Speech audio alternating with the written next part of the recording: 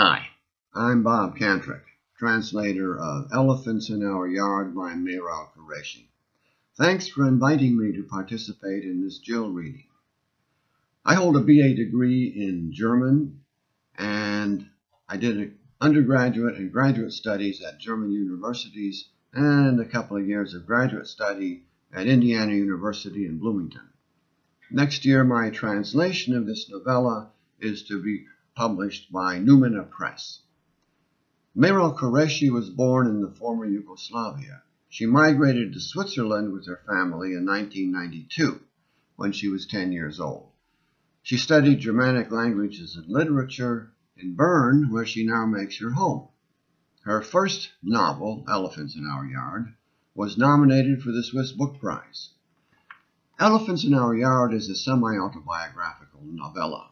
The narrator's father has recently died, and she is a 23 year old university student.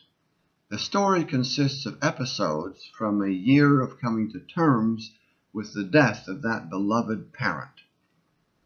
The story of her family's emigration from the former Yugoslavia when she was 10 and of her struggle to fit in is told in flashbacks. It is never sentimental or political it is sprinkled with subtle humor, yet it is profoundly moving. Kureyshi writes a taut, sparse style that conveys more by what it leaves unsaid than by what it says explicitly. The following two vignettes illustrate this well.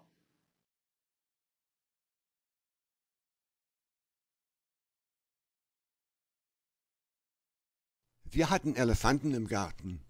Der Kleinste steckte seinen Kopf durch das Fenster in mein Zimmer und wollte mit Nüssen gefuttert werden.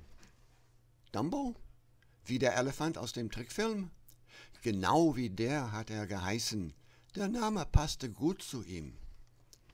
Ich wollte noch eine Giraffe, doch mein Vater meinte, die würde dann so groß werden und über die Dächer schauen, so dass unsere Nachbarn sie sehen könnten. Wir wollten unsere Tiere geheim halten, so dass sie uns niemand wegnehmen konnte. Weshalb sollte euch jemand die Tiere wegnehmen? Habt ihr die Tiere in euren Koffern mit in die Schweiz genommen? Sarah war skeptisch meinen Geschichten gegenüber. Jedes Mal, wenn ich von meiner Heimat erzählte, stellte sie mir viele Fragen. Wir hatten sogar einen Löwen im Garten, der war gefährlich. Er beschützte uns vor Einbrechern. Einmal hatte der Löwe meinen Großvater angegriffen. Der hatte sich selbst helfen können. Tausend Kriege hatte er erlebt. Da war ein Löwe nichts dagegen. Mein Großvater hatte nach diesem Angriff nur zerrissene Hosen, sonst war er ganz. Ihr hattet einen Löwen als Haustier? Ich konnte nicht aufhören. Ich hatte sonst nichts zu erzählen, nicht von unseren Ferien oder von den tollen Geschenken zum Geburtstag oder von Ausflügen mit den Großeltern. Was hätte ich erzählen sollen nach den Ferien, wenn Herr Lang im Französischunterricht fragte, was wir Spannendes erlebt hatten? Hätte ich vielleicht erzählen sollen, dass meine Eltern so viel geraucht und sich gestritten haben?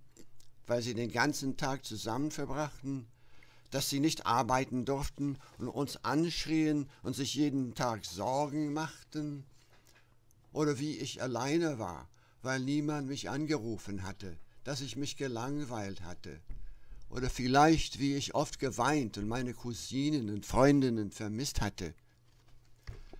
Der Löwe, der auch so hieß, der Löwe, ich wusste keinen anderen Namen für ihn, der Löwe war, nachdem er mit meinem Großvater gekämpft hatte, sanft geworden, spielte sogar mit mir und meinem Bruder im Garten. Wir mussten uns nicht mehr fürchten. Ich glaube, mein Großvater hatte ihm etwas ins Ohr geflüstert, einen Namen vielleicht, wie man das bei den kleinen Kindern macht, um ihnen ihren Namen zu geben. Man flüstert ihnen Namen, ihren Namen dreimal in ihr Ohr. Der Löwe war bestimmt böse gewesen, weil wir ihm keinen Namen gegeben hatten.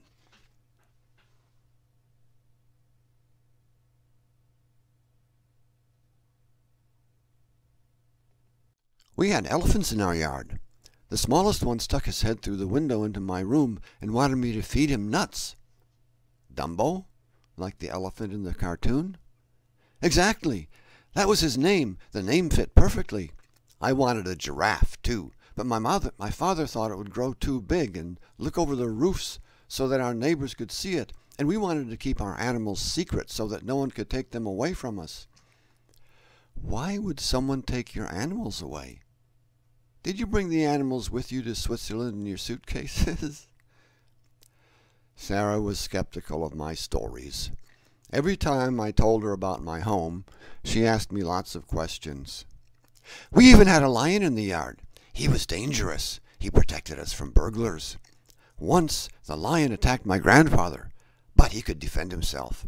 He had been in a thousand wars. A lion was nothing compared to that. After that attack, my grandfather only had ripped trousers. Otherwise, he wasn't hurt. You had a pet lion? I couldn't stop. I didn't have anything else to tell. Nothing about our vacation, or cool birthday presents, or trips with our grandparents. What did I have to tell after vacation when Herr Lang in French class asked about exciting things we'd done? Was I supposed to say my parents smoked and fought so much because they spent the whole day together? That they were not allowed to work and yelled at us and worried every day? Or that I was lonely because no one phoned me? That I was bored? Or maybe how many times I cried and missed my cousins and girlfriends? The lion! That was his name, too, Lion. I didn't have any other name for him. After he fought with my grandfather, the lion was gentle. He even played with me and my brother in the yard. We didn't have to be afraid any more. I think my grandfather whispered something in his ear, maybe a name, the way you do with little children, to give them their names. You whisper their names in their ears three times.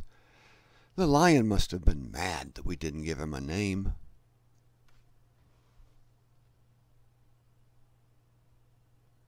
Ich fahre nach Paris.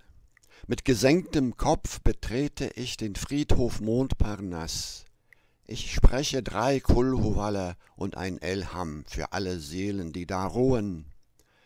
Die Blätter schweben auf die großen und kleinen Steine.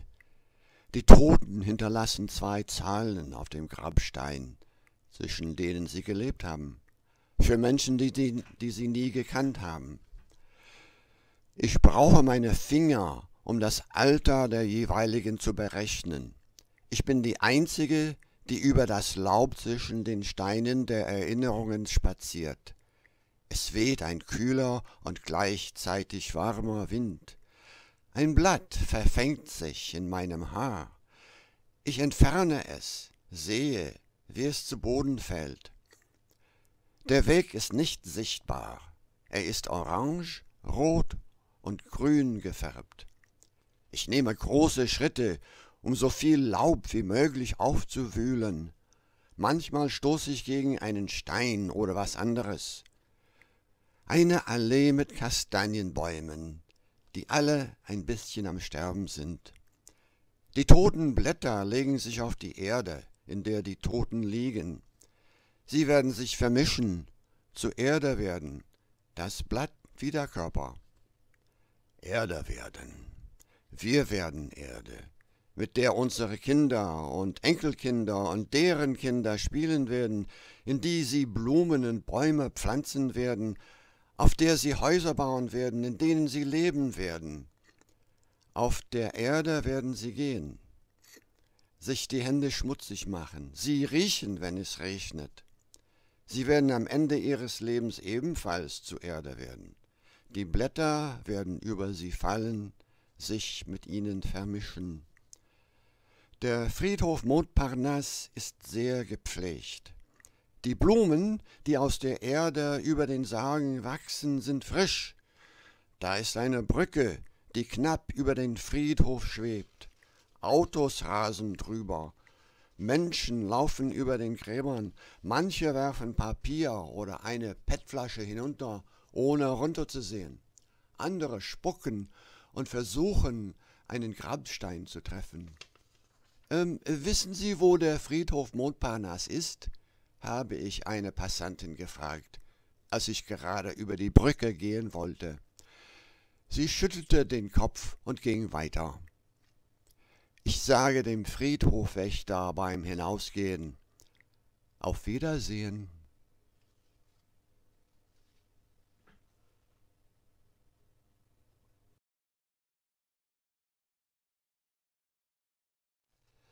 I travel to Paris.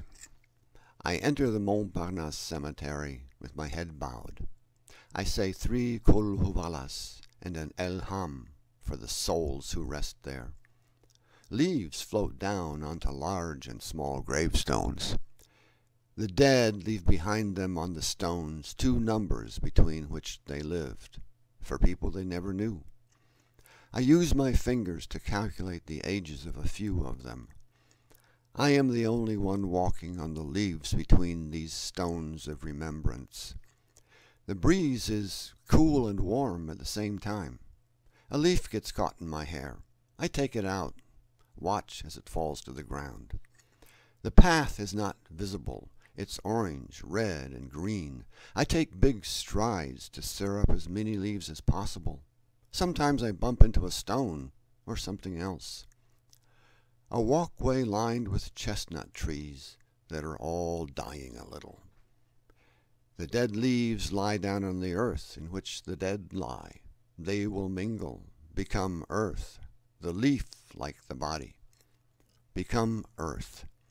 We become the earth that our children and grandchildren and their grandchildren will play with in which they will plant flowers and trees, on which they will build the houses they will live in. They will walk on earth, get their hands dirty, smell it when it rains.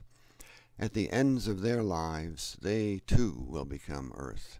Leaves will fall over them, mix with them. The Montparnasse cemetery is very well kept. The flowers growing from the earth above the coffins are fresh.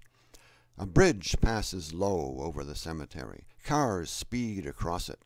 People walk above the graves. Some throw paper or a plastic bottle without looking down.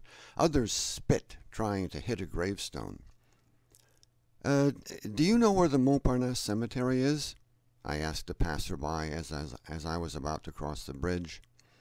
She shook her head and kept going. On my way out of the cemetery, I say to the caretaker, Auf Wiedersehen, until we meet again.